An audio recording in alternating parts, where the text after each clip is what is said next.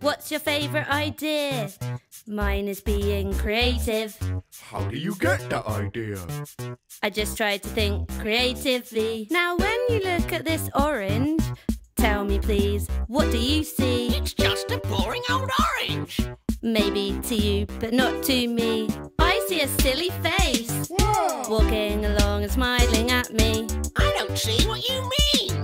Cause you're not thinking creatively.